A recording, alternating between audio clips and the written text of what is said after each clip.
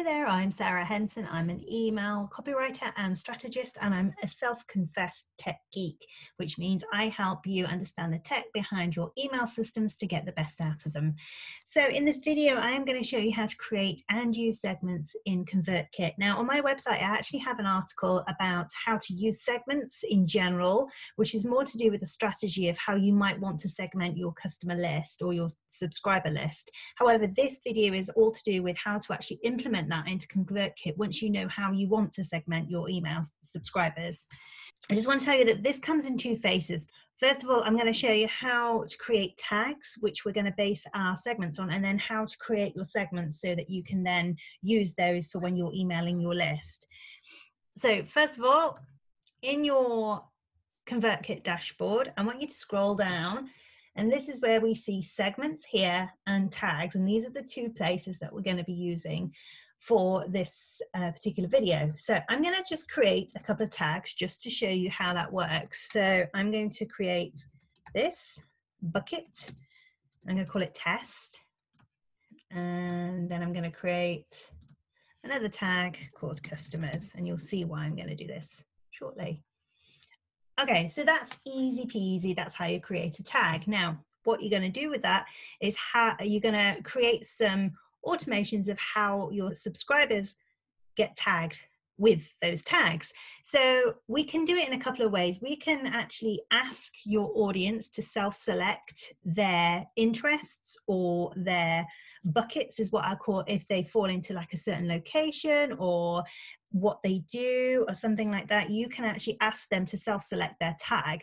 So I'm going to show you how I've set up a self selection tagging system with an automated email in my welcome sequence. So this is my fourth email in my welcome sequence. And you can see here, I'm asking people to self-select who they are. Now, as an e-commerce store owner, you might be asking them, what are they interested in hearing from you about? Products about, let's say, for example, you're a beauty company, products about hair, products about skincare, or products about um, physical wellness or something like that. So for mine, I'm an e-commerce store owner. What you do is uh, highlight the text that you want the selection to be, press the link button, button, edit link, and then what you do is put in a URL link here for where you want your people to go once they've clicked your link. Click the open link in a new tab, make sure that's checked so that they can always go back to the email easily. And then you click this button and this box opens up for you to add in whichever bucket or tag you want to use. Like I've just added that test one that I created earlier. Okay, and then I'll press edit. Now, this URL is actually a page on my website where once they click, they go to this page and it says, Thanks for clicking that link. You rock. Got my little branded GIF there, or GIF, however you say it. And then there's some information about the latest blogs on my website. Now, of course, depending on what your products are. If you for example the uh, what i suggested earlier about let's say i'm interested in hair products your link could go through to your hair products your um, hair product category page. So you could choose that as your url link okay?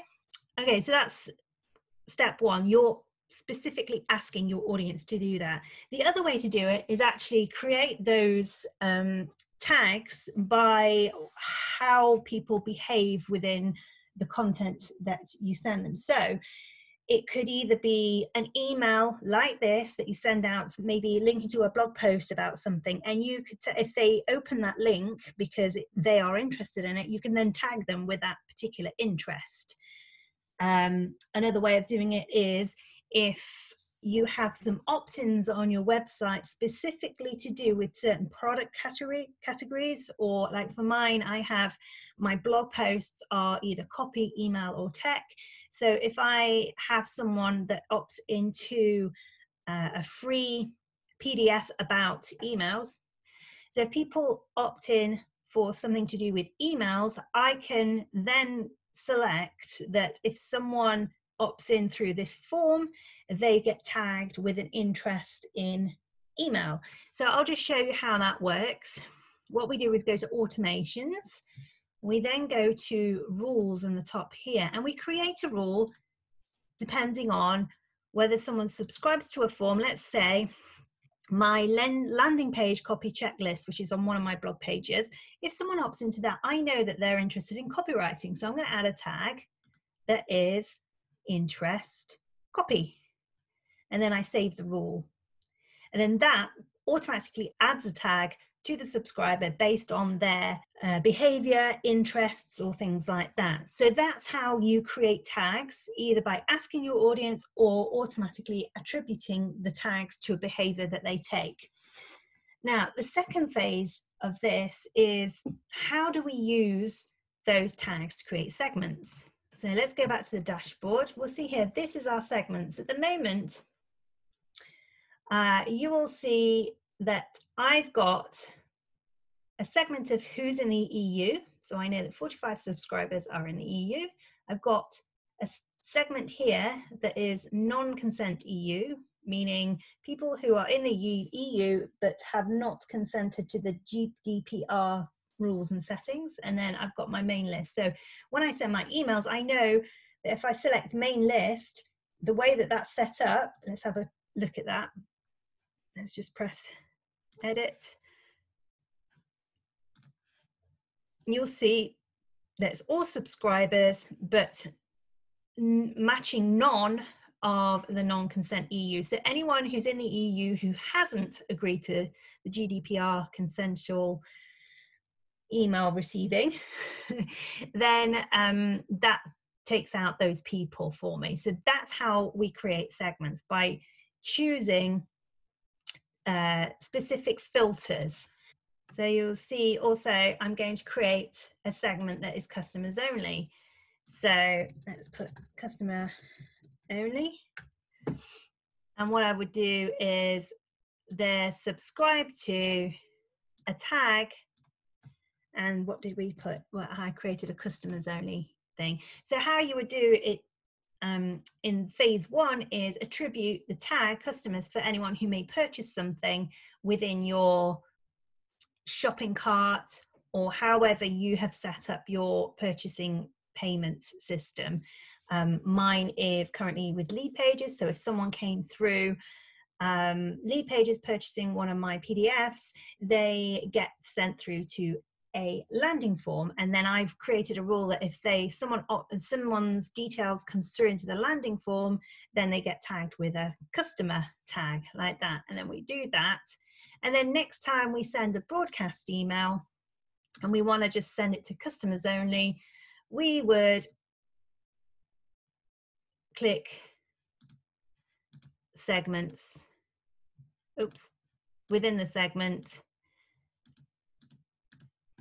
customer only and add that. And then we know that that broadcast is only going to your customers.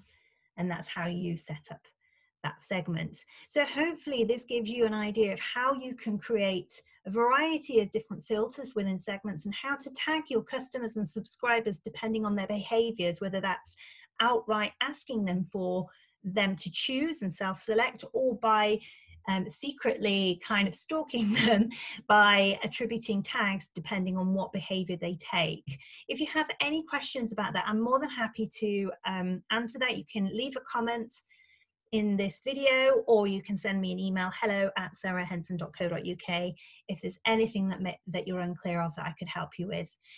If you are interested in hearing more tips, tricks, and hacks to do with your emails and copywriting and tech, then be sure to click subscribe on my channel and press the bell to be notified of other videos. And I will see you in the next video. Thanks for stopping by.